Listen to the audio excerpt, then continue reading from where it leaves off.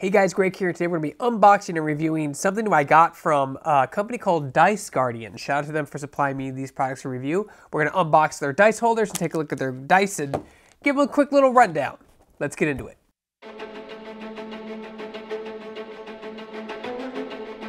Hey folks, before we get started, if you want to click that like, subscribe, notification button, it's three small clicks for you, but means the world to us. Uh, with that said, let's get started. So we have three little things here.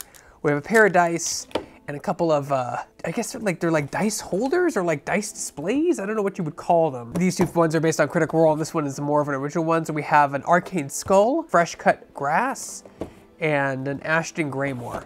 Uh, so we're gonna take a look at these. They also sent me a dice set that they make as well, which should be pretty cool. And the cool thing about having something so small is where is my knife? I just ate it out. Oh, it's over there. The cool thing of having stuff that's small is I get to pull out my nice camera, my nice lens, and get really close depth of field shots that you'll see during this unboxing. So let's get into it. We'll go from small to big. So let's start with their dice set first.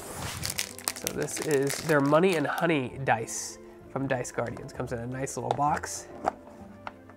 Oh, wow. Beautiful. It comes in a, it's a tin, it's a, it's a tin. Comes in a tin. Oh wow, that's pretty. Oh wow, it has like shades of dark green in it, and then it has like gold flakes in it too. A little hard to read, not impossible. I've seen worse dice, but it comes with your standard D20, your D12, D8, D4 percentile dice, D12, and a D6. So there's a full set of dice you need to roleplay, play most to play most uh, tabletop games that require the D20 system. One thing I want to say about these dice is they feel very solid. It's a really nice acrylic that they that they've used. Like you can just kind of tell by how nice the edges are and how sharp the corners are, and the weight as well. Like they feel good. They feel good to roll. They feel good in your hand. They feel like they're real dice. So some of those those cheaper dice feel, use a really cheap acrylic or just a just a different type of acrylic to make it feel weird. This is a a really nice and a really nice acrylic, and I do like the gold flakes in the middle add a lot. You can actually see the number on the inside too, which is kind of cool. They can't, I guess they could be a little hard to read. No, 19, let's see, 19, 17, 20. Wow, that's a really good roll. Uh, I mean, I read all those pretty instantly when I found out four, so maybe I'm wrong. Maybe it's the way the green reflects off the bottom that makes them readable because I take them up, they become more clear, which is kind of cool. But that's a, that's actually really nice set of dice. It comes with its own carrying case, its own tin, and they all have their own little cutouts for the tin. So I can put everything back hopefully the way that I found it. So that was their Money and Honey dice. You can get them on their website. I'll leave a link for this in the description below as well. Too much stuff around me. So next we're gonna do their Arcane Skull. See what this is. So this is basically like a favorite D20. This could be probably used to put stuff on the table as inspiration or on your gaming table just to look cool. Oh, it's battery operated, okay. I thought for sure it was gonna be USB operated. Oh wow, it actually looks really, so get, let's get some of their dice out actually, get their D20 and put it in there. Has like a skull, the sword, very animated, very cartoony, I like that. And then of course it turns on and it looks like it, it, it just, it runs off batteries. I don't think it comes with batteries, so let me get some batteries.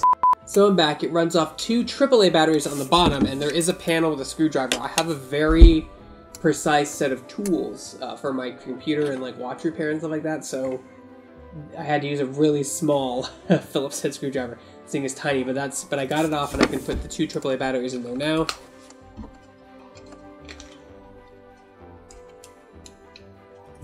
And then it probably needs to be closed. Oh, unless these batteries are dead. There we go. Oh wow, it's actually pretty bright. And then you can hit the button. Wow, that's really bright. And then you can change the color on the inside. It's like red, or yellow, or greenish, deep green, deep blue, Ooh, I like purple. Purple's a good one. Then white, or like a bluish purple, and then off. So that's actually kind of cool. I'm gonna go to, to, to purple because I like purple. There we go. And then you take your D20 like there from their honey and dice set and kind of pop it in their mouth. And it's meant to kind of stay a little bit snug in there. And there you go. Then you have a dice holder for your table. Right. I do wish, you know, I really thought it was USB powered. Because like that way you can just leave it plugged in all the time. Uh, but like these batteries could probably last for hours because LEDs don't take that much power. But still, I wish it was uh, USB powered because you can just leave it on all the time, like on your desk, right, or on the table that you play in, which is kind of cool. But you could use this as like inspiration, right? If someone wants to use inspiration, you can put their dice in there as like their inspirator or whatever. But it's cool. I do like the Hi. Sadie, please don't lie down. Cat's gonna hang with me now, apparently. So, yeah, that's really cool. I like the LED. I do wish it was USB powered, or at least have the option to be USB. Uh, probably the price point was you know, a little cheaper to do it the other way. Let's see what else we have. Let's go to Fresh Cut Grass. So, from Critical Role, Bell's Hells, his very own Fresh Cut Grass is an auto automaton built to heal both physical and emotional wounds. Display your favorite D20 and protect it from rogues and barbarians with fresh cut grass.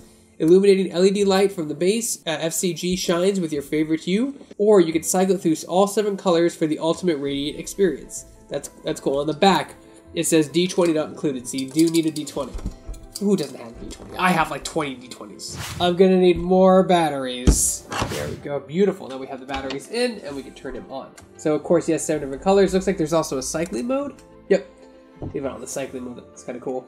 Cycling mode for him, and then of course, oh, shh, I hit, I hit the button. There's a button on the back, and a switch on the back that controls. So keep that radiant mode. It's like the D20 out of the arcade skull, and put him in here. So he's guarding the D20. He looks great.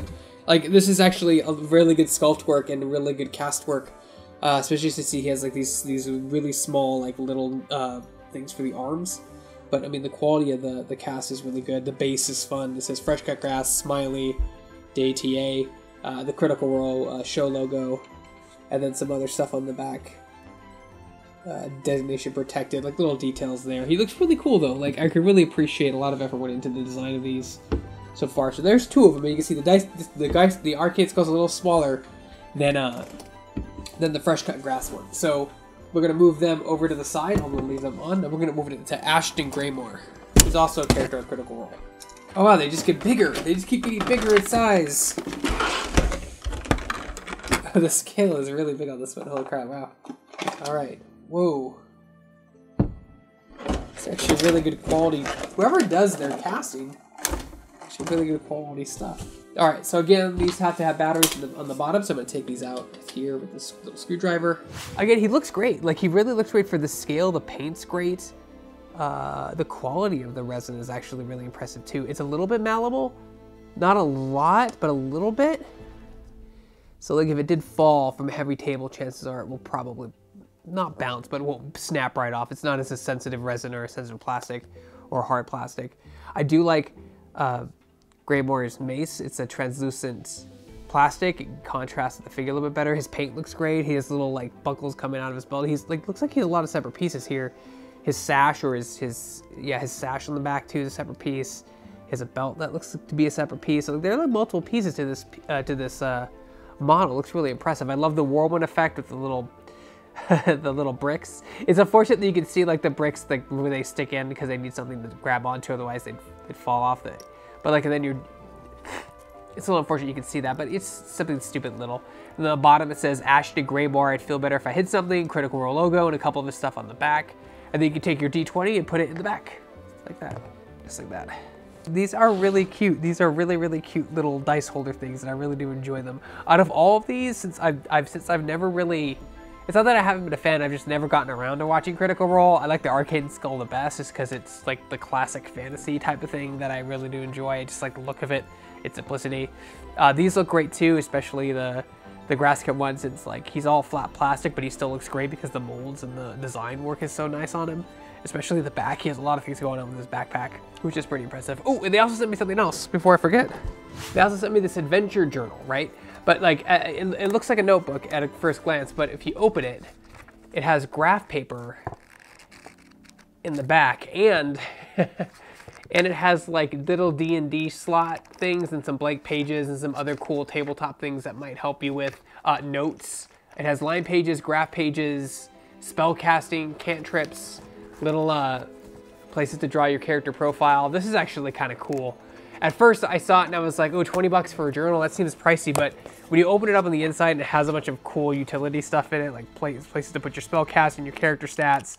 I have a friend who could really make good use of this. They really do enjoy taking notes. They big note takers, and they like to have everything physical in front of them, like written down instead of digital. Because I like the digital stuff, but some people like the pen and paper feel, man. It's D and D. Like even has like all the deck stuff there. It has everything you'd need to play tabletop games, whether it be Pathfinder, Dungeons and Dragons, or whatnot. Okay, I'm presently surprised by this thing. It's actually pretty pretty cute. pretty cute little little adventure journal. Well, guys, that was a nice little showcase from a company called Dice Guardians. You can get all of the stuff from their website. I'll leave a link in the description below.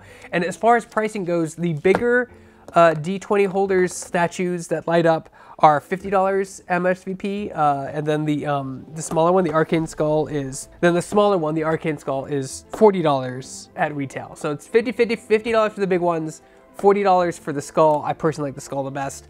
Uh, the journal is $20 and the dice set is 30 and it comes in a nice collectible tin, uh, high quality dice, nice plastic, nice hard plastic, uh, and a fun design uh, that I thought would be hard to read, but if I were rolling it on the table, I could read it perfectly fine. So joke's on me.